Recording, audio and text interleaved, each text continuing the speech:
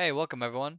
This is a quick tutorial on creating a dash ability and a knockback ability. If you haven't done so already, you're going to want to set up your gameplay ability system for your project. Um, that includes enabling these two plugins and some other, like adding some other code snippets. Um, if you haven't done that already, please watch my first video. I'll leave a link to it in the description to help you get all set up. Okay, so first off, let's create a ability system component on our player character here. Um, go. And then on begin play, we're going to want to give our player the dash ability. So I'll just make a variable for it.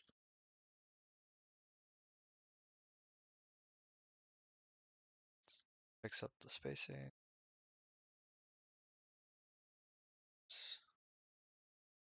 Okay. Now, when we press, I'm just going to make it like left alt. You can obviously make like an action map mapping for this, um, however you want, but I'm just trying to keep it as simple as possible. We're going to want to activate ability by class and thing, pass in the dash ability.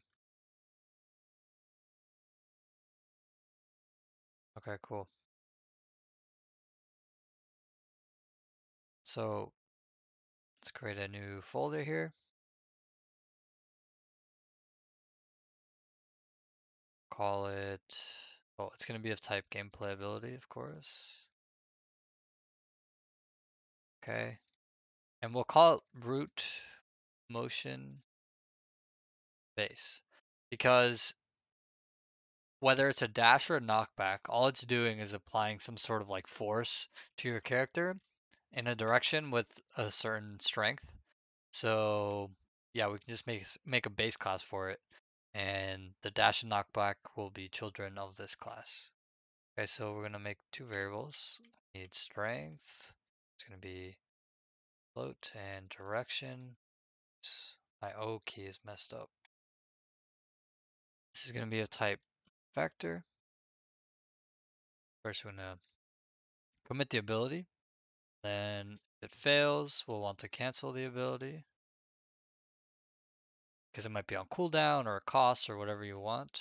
We're not going to cover that in this video, but just kind of as you want it. Next, we'll apply root motion constant force. All right, and we're going to pass in strength here, direction there.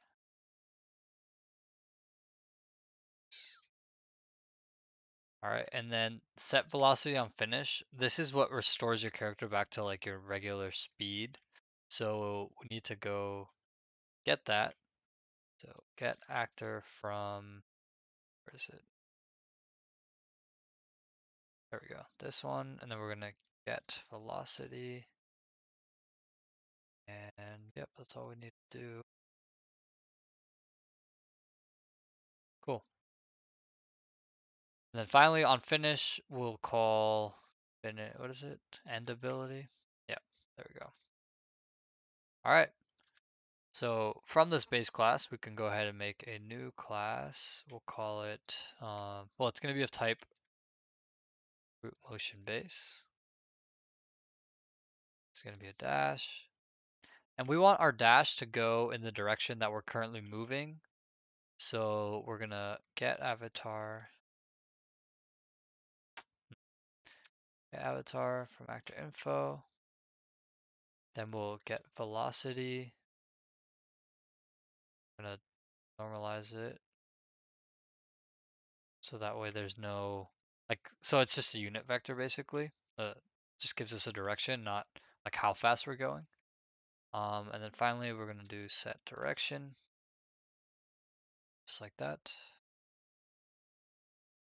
And yeah, now if we want to test it out, we have to assign this to our dash ability and hope this works. Oh, we actually also need to pass in a strength. I'm going to pass in 1500.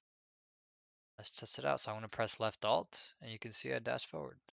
Obviously this looks pretty weird. It looks like you're like sliding around and that's simply because we're just like doing, we're not triggering an animation. Um, so if you want this to look a little better, you would basically play a montage of like your character dashing or something like that. And you could do that in, you know, in here, play montage and wait, whatever you want to do. Now for the knockback, it's going to be pretty similar. Duplicate that, call it knockback.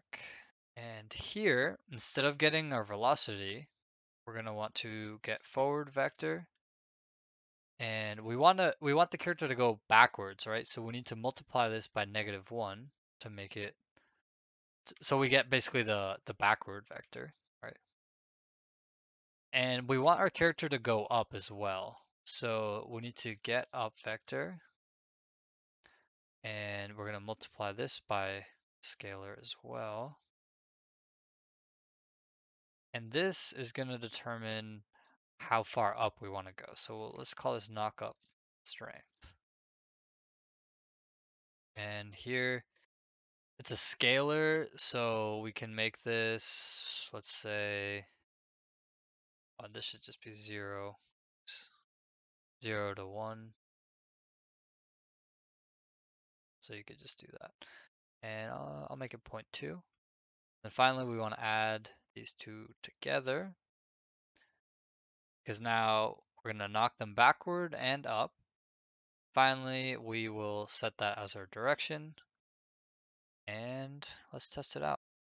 Okay, I'm going to create a new keyboard event and I'm going to bind it to my one button. Obviously, you wouldn't want to actually let your character knock themselves back. But I'm just going to show you how you would actually knock back your character or just enemies, whatever you would do give ability and activate once. This is how you would basically knock people back. Um, because knockbacks aren't abilities that players are really gonna want to activate manually, like dashes, right? That knockbacks are more like things that happen as a result of other abilities or actions, which is why you want to just call this function. It gives them the knockback ability, calls it, and that's the end of it. So you're you're gonna basically want to do this inside some other abilities. So say if you hit someone, they take damage, and then you do this little part to knock them back. Okay. So now let's just set this to our knockback ability and let's test it out. I'm gonna press one. See, I got knocked back. Cool. All right, well, that pretty much concludes this video. If you enjoyed it, please leave a like, subscribe, and comment what you want to see next. Um, definitely stick around because I'm I'll be doing some videos on topics that some of my subscribers have suggested. So yeah, I'll see you on the next one.